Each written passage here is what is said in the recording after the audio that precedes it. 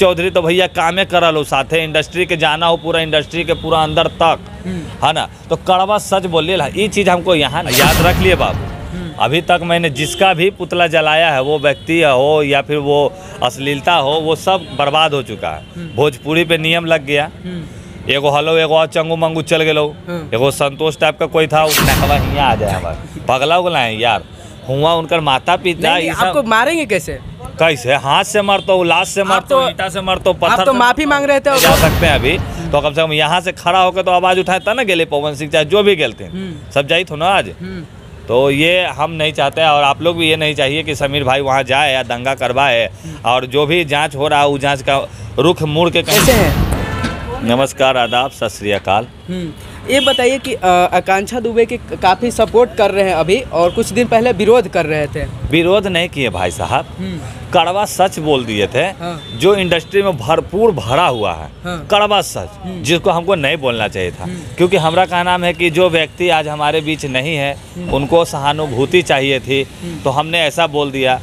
मैंने बुड़बक वाला काम तो हम करिए दिए हैं अब ओकरा ला का किया जाए? जिसके लिए हमने उनके माता जी से क्षमा मांगा और कहीं ना कहीं मेरे दिल में ठेस पहुँचा तो मैंने क्या बोलूँ बोलने वाला बात नहीं है। चाची खुद और उनके कोई परिजनक थे उन्होंने बोला कि ठीक है समीर जी रोइए नहीं। तो बुरा लगा हमें भाई साहब। हम हम लोग पूरा आवाज़ उठाए तो सब इंडस्ट्री के ढेर लोग वहाँ पे गए हैं।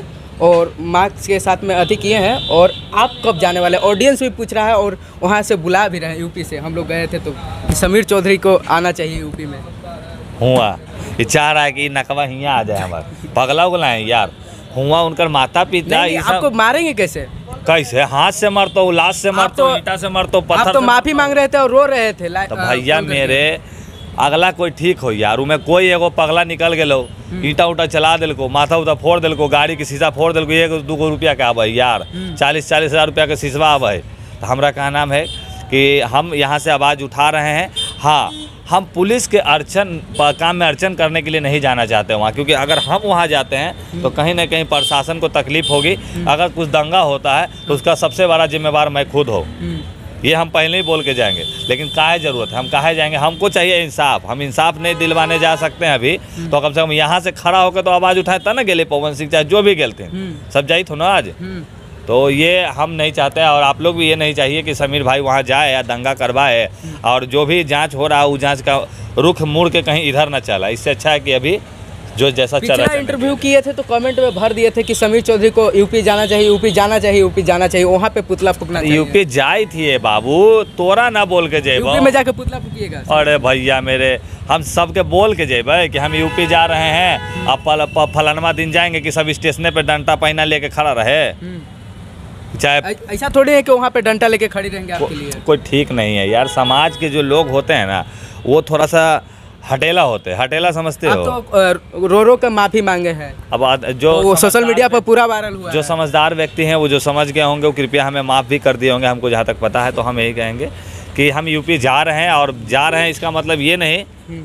कि हम आप लोगों को बता कर वहाँ कुछ तरह का दंगा करने के लिए जा रहे हैं। हम वहाँ जाएँगे चाची का पैर पकड़ेंगे और चाची के साथ हम लोग कैंडल मार्च करेंगे निकलेंगे। हाँ।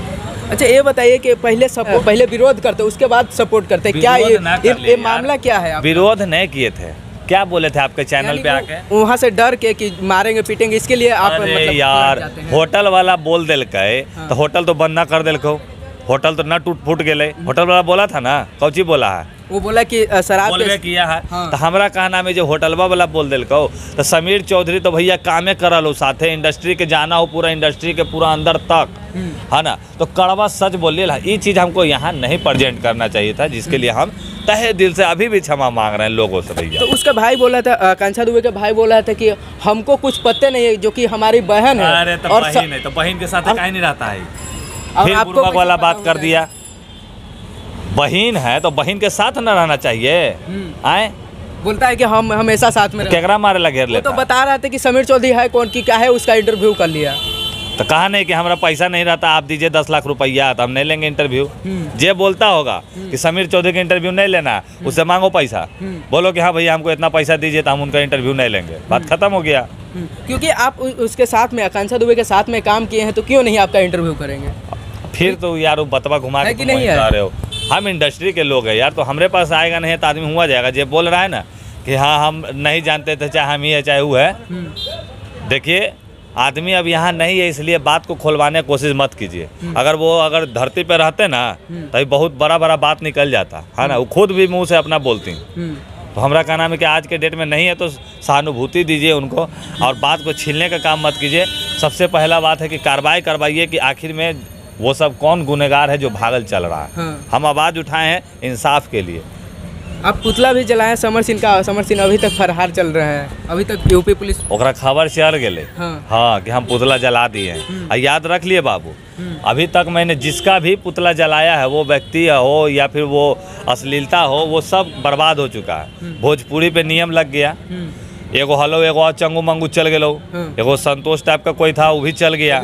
तो हमरा कहना भैया के समीर चौधरी पुतला जरेतु ना तो समझिए कि ओकर दिन खराब हो गलो। और देखिए ना एक तो पूरा दिन बर्बाद हो जाएगा। धन्यवाद। तो अभी हमारे साथ एक्टर समीर चौधरी थे और इनसे बात की है आकांक्षा दुबे के मैटर को लेकर। आपका क्या राय है? कमेंट बॉक्स में ज़रूर बताइएगा। नमस्कार जय हिंद।